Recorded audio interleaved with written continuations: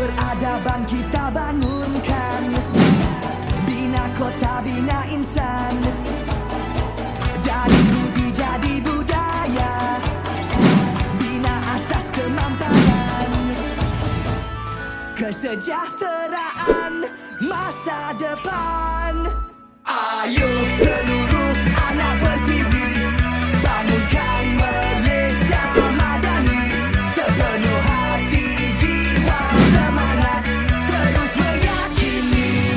Salvador